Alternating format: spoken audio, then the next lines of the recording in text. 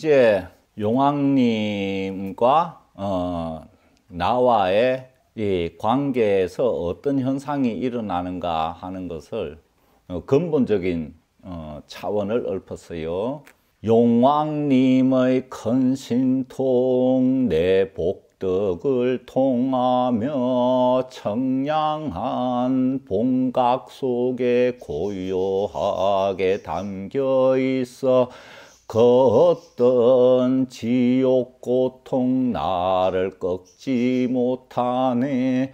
다함 없는 생명 번뇌 삼키고 또 삼키며 기도하는 시각이 아득하게 깊어져 내 영혼의 용궁 다 비장법보 만나니 아신일체 조화로서 모든 미각보다 드머 온 세상이 목축이는 일미의 해인되네. 나무 건강삼매 원효 존자 나무 열뇌 제멸 용왕 대신 나무 구고군한 용두 가는 보살 나무 사생자모 마야 보살 어, 용왕님을 만나서 내가 최종적으로는 일미의 해인이 된다.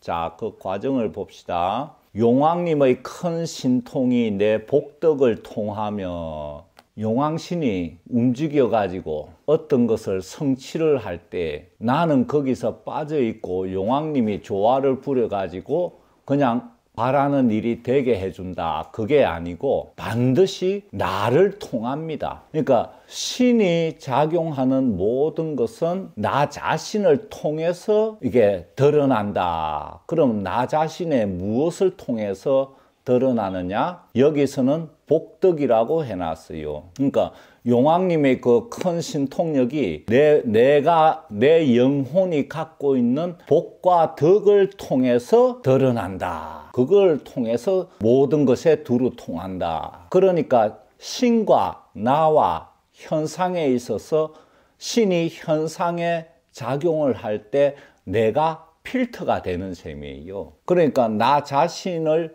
똑바로 세워놓고 이 내용물을 풍부하게 내 자신이 채워 놓을수록 용왕님의 신통력이 현상을 어, 내가 원하는 대로 어, 빨리 크게 이렇게 움직여 준다. 그럼 뭐 필터가 좀 부실하거나 뭐 녹이 설어 있거나 필터가 너무 작고 좁거나 필터가 막혀 있거나 그러면 어떻게 돼요? 용왕님의 신통이 현상을 움직이지 않는다. 그래서 신에게 기도할 때 어떤 사람은 뭐 바라는 대로 되고 어떤 사람은 안 되고 신이 어, 차별해서 도와주는 것이 아니고 나 자신을 통하는데 내가 필터가 막혀 있는 필터가 돼 있다는 걸 알아야 돼요. 그러면은 그래서 막혀 있는 사람은 뭐 신의 신통 힘이 현상까지 닿지를 않는다. 필터가 크고 튼튼하고 열려 있고 그 안에 금가루가 들어가 있으면은 그게 쫙 용왕신의 힘이 그 내 필터를 통하면서 그것을 가지고 현상에서 이렇게 변화를 일으켜 주신다. 그래서 신이 나를 기도했는데 도와준다, 안 도와준다. 그것은 나 자신을 빠뜨려 놓고 따지는 거니까 이것은 엉터리다. 나 자신을 빼놓고는 신이 마음대로 현상을 움직여주지 않습니다. 만일 그렇다고 한다면 나는 가만히 있으면 되겠네? 그리고 내가 가만히 있는데 신이 왜 움직이겠어? 그래서 기도했는데 안 되면은 그 내가 막혀 있는 필터라는 걸 알고 무엇으로 막아놨는지를 깨닫고 그걸 뻥하게 뚫리게 만들면은 그 즉시 신의 힘이 현상에 닿아가지고 변화를 일으켜 줍니다. 그래서 신앙인들이 이게 자기가 어, 신을 찾고 뭐 바라는데 정작 신의 도움 부분에 있어서는 자기를 속 빼놓고 따집니다. 여기서 이제 엄청난 오류가 생겨가지고 신은 누구는 총애하고 누구는 버리고 뭐 이런 온갖 망상들이 이제 범람하게 되는 거예요. 그러니 용왕님의 큰 신통은 내 복덕을 통한다. 내가 복덕이 적으면 어떡합니까? 공을 들이면 되지. 타고난 복덕이 적으면 지금 공을 들이면 또 되는 거야. 근데 공을 어떻게 들인다? 마음과 생각을 좀 넓히고 거기서 좀 바른 마음을 굳히고 또 기도하는 정성을 좀 들이고 어, 이렇게 하면 되는 거예요. 그래서 어, 신은 인간을 차별함이 없다. 만일에 차별한다고 하면은 하나님 예수님은 기독교인만 도와주고 부처님은 불자만 도와주고 알라시는 뭐 이슬람만 도와주고 이렇게 돼야 되잖아? 그러면 그거는 자연이 다신이지. 그러니까 일신이라는 게 또 맞지가 않는 기야. 그러면 그런 종교가 생겨나가 불교인 기독교인 이슬람인 천주인 뭐 이런 구분이 나기 이전에는 신이 없었나? 그런 구분이 불과 2000년, 2500년 정도밖에 안 됐잖아. 그 이전에는 신이 이런 구분이 없는데, 그럼 뭘 기준으로 도와주고 안 도와주고 했을까? 그러니까 우리가 차별을 만들어 놓고 신을 그 속에 끼워 맞추려고 하니까 진짜 신은 떠나버리고 만들어진 환상의 신만 붙들고 있는 거야. 기성종교에서. 그러니까 어, 잘 아셔야 돼요. 이 신의 힘과 지혜와 여러 가지가 나를 통해서 현상을 크게 움직이려면은 최상의 나의 상태가 뭔 상태다? 공의 상태가 되어 있어야 된다.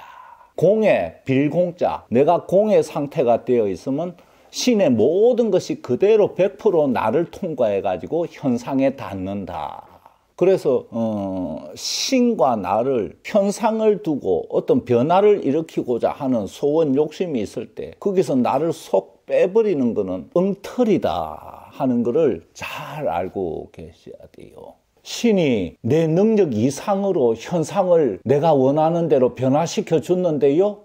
그래 그런 경우도 있어. 그런데 봐봐요. 내 능력 이상이라고 생각을 하는데 진짜 내 능력과 내 필터가 얼마나 큰지 어떻게 알아? 그지요? 자기가 자기를 그렇게 완벽하게 다 아나? 내가 아, 평범한 아주 작은 사람이라고 생각하고 있지만 내 영혼은 내 생각보다 훨씬 큰 존재일 수도 있는 거야.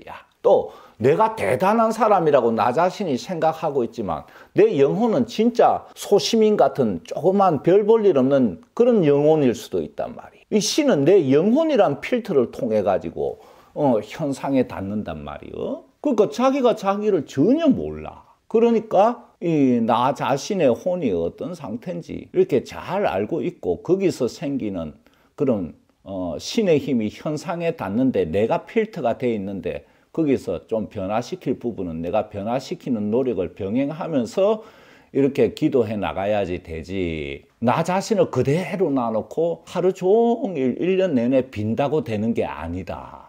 하는 걸 알고 계셔야 돼. 그러니까 그렇게 신앙인들이 많이 기도해도 원하는 대로 잘 되지 않지. 내 말이 틀렸다면 현상을 봐봐. 그지요? 현상에서 허, 신이 있어. 그리고 사람들이 빌어. 근데 안 되는 사람들이 많아. 그 사람이 그 필터가 막힌 게 있으면 그걸 깨닫게 해가지고 그걸 막힌 걸 뚫어야지. 그렇게 해주는 게 종교인데. 그래서 나를 빼놓지 마시라. 그거는 엉터리다. 그래서 음, 지금 기존의 종교 신앙이 나하고 아무 관계 없게 만들어 버린다. 오히려 나를 신으로부터 더 멀어지게 만들어 버린다. 이러고 있으니까 성처 스님이 기복하지 마라 이러는 거지. 내가 필터라는 걸 알아야 돼요. 바다가 시, 물이 신이면 정수기가 나야.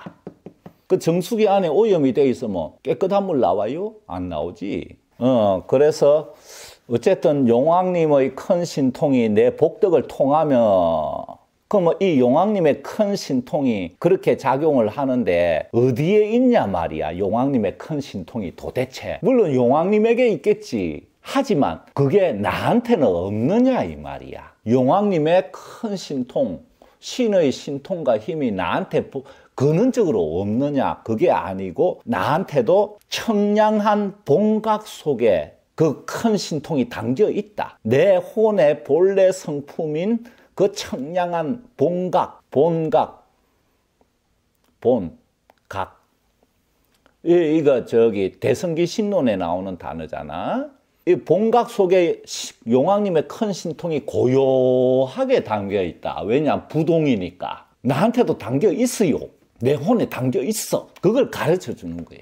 그래서 그 어떤 지옥 고통 나를 꺾지 못하네. 삶에서의 그 지옥 같은 고통이나 또는 죽어서 지옥에 가서 겪는 고통도 나를 꺾지 못한다. 왜? 내가 나의 청량한 맑고 시원한 그 봉각의 성품 속에 용왕님의 큰 신통이 그대로 담겨 있으니까 그래서 지옥에 가서 벌을 받고 다시 사람으로 환생하고 이런 게 봉각이 있기 때문에 가능한 거예요. 그래서 그 지옥 고통에서 벗어나고 다시 착한 사람이 되고 또 능력을 키울 수 있고 이런 게 전부 청량한 봉각을 내 자신이 갖고 있기 때문이라는 걸 알려주는 글입니다. 이 봉각은 불생불멸의 성품을 갖고 있어요. 그래서 생겨나는 것도 아니고 소멸됨도 없어요. 이거를 우선 명심을 어, 해야 돼요. 그런데 내가 아직 어, 청량한 나의 봉각 속에 담겨 있는 신통을 발휘를 못하니까 이제 용왕님께 좀 발휘해 달라고 청하는 거죠. 자, 다함 없는 생명 번뇌 삼키고 또 삼키며 우리가 번뇌가 다함이 없잖아요. 죽는 순간까지도. 다함이 없어요. 생명체가 그 속성상 무조건 가지게 돼 있는 번뇌가 많잖아. 죽음에 대한 걱정. 이건 모든 생명체가 다 갖고 있는. 그래서 이 다함 없는 생명 번뇌 이것이 내 청량한 본각 속에 담겨 있는 그 나의 신통을 덮어놓고 있단 말이에요. 발이 못 되게. 그럼 이 다음 없는 번뇌, 생명 번뇌, 생명체로서 가지는 이 번뇌를 어떻게 해야 되냐? 삼키고 또 삼켜라. 침이 나오면은 꿀떡하고 삼키듯이. 삼키고 또 삼키고. 이거지 뭐. 이건 뭘 말하냐면, 이, 이 생명 번뇌는 오로지 나 자신의 내면 속에서만 처리할 수 있다는 거야. 밖을 향해서 어떤 걸 얻고 이러면서 없앨 수 있는 번뇌가 아니다. 나 안에서 자체적으로 변화시키고 소멸시켜야 되는 번뇌니까 나오는 침을 삼키듯이 이 번뇌를 삼키고 또 삼킨단 말이야. 이를 악물고. 그래서 밖을 향해서는 안 된다. 이 번뇌를 해결하려고 밖을 향해서 나아가는 게 이제 서구의 역사적인 사상들이지. 이 생명 번뇌는 밖에서 어떤 뭘 얻어서 해소할 수 있는 게 아니란 말이에요. 죽음에 대한 번뇌를 밖에서 뭘 얻어서 해소할 수 있어? 없지야. 뭐 산삼 먹고 불로 장생한다? 에이, 불로 장생하면 좋아. 한다 치자. 그럼 죽음에 대한 번뇌는 없어져. 그럼 뭐 끝없이 살면서 생기는 끝없는 번뇌는 또 어떡할게요? 그래서 인간의 궁극적인 소원은 그거 아닌가? 불로 장생 아닌가? 그래서 다함 없는 생명번뇌 삼키고 또 삼키며 이렇게 하다 보면 어떻게 된다? 기도하는 시각이 아득하게 깊어져 어, 생명 번뇌를 삼키고 또 삼키는 과정이 기도하는 과정이거든. 기도가 이거야. 번뇌를 삼키고 또 삼키면서 거기서 내가 벗어나는 그 그게 기도거든. 그러니까 기도하는 시각 시각이 뭐냐면 비롯할 시자, 깨달을 각자. 뭐냐면 본각을 향해서 나아가는 출발과 과정을 시각이라고 그래. 초발심시 변정각에서 초발심에 해당되는 거지. 음. 그 시각이 기도하고 삼키고 기도하고 하다 보면 점점 깊어진단 말이야. 어, 고요하게 깊어져. 깊어지면 고요해지지. 그 기도하는 시각이 끝도 없이 아득하게 깊어져 가지고 기도하는 나 자신이나 기도한다는 행위 자체도 의식을 못하는 무념 속에 들어간다는 얘기요.